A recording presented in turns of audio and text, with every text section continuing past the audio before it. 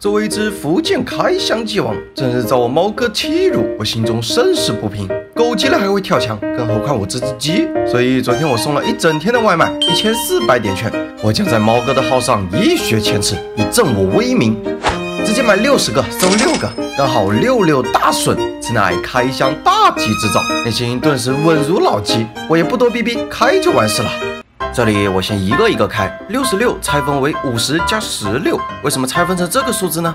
五零幺六翻译成中文就是我你要六，重新排列组合一下五幺零六，也就是我要你六。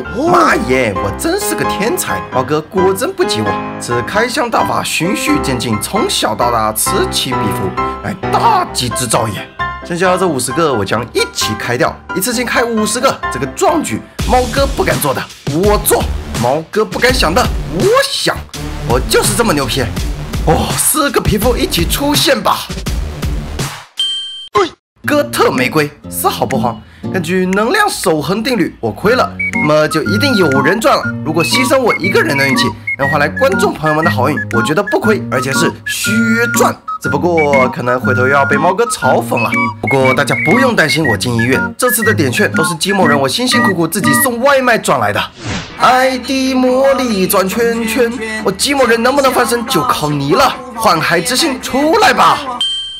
啊啊啊丝毫不慌，根据能量守恒定律，我亏了，那么就一定有人赚了。还有最后的两百点券，能不能让猫哥刮目相看，就靠你们了。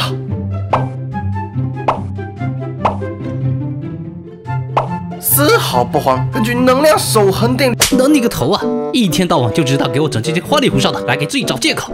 起开！今天我就让你明白什么叫做真正的福建开箱王。